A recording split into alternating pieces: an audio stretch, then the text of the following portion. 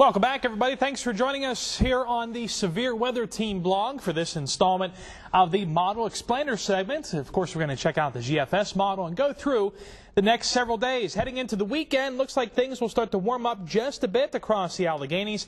We're going to start to see the flow or the basically the wind and pressure gradient in the atmosphere begin to relax just a bit and start to take on more of a zonal flow or a pattern that goes from basically west to east instead of a very strong northwesterly cold discharge that we had at the end of the week. So things are warming up just a bit as we get into the weekend. A couple of festivals going on. The Apple Cider Fest in Prince Gallitzin, also the Bedford Fall Foliage Festival kicks off this weekend. Sunday, same situation, a zonal flow, which means basically a dry westerly wind maybe even a little bit of a west southwesterly component to it, helping to warm things up a little bit more. By Monday, strong storm system begins to take shape across parts of the western lakes. For us, it's a southwesterly wind, so even warmer temperatures pushing in for Monday.